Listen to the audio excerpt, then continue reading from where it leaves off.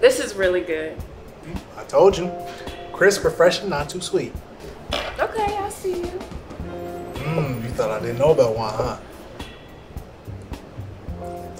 That wine right there is black woman owned and made. Okay, so now you're showing off. I'm not showing off. See, if I wanted to show off, I would tell you about the seven word wine collection it's part of and how it's also vegan. You just had wings. Okay, I mean, who doesn't like wings?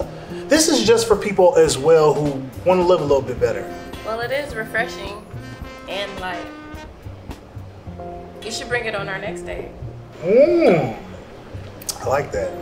Maybe you could join their wine club, have some delivered to you, and uh, have some ready for me on our next date. But I don't know what you like.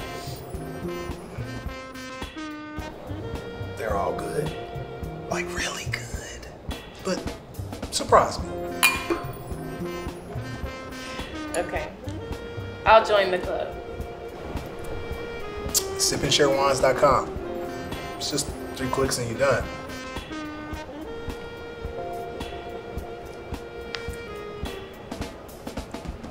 Oh, you want me to do it now? Yes, please, please, please. Sip and Share, creating community with wine.